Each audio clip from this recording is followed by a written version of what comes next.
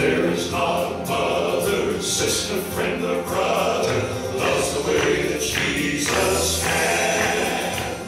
He proved his love for me when he died on Calvary. He gave his life for fallen man.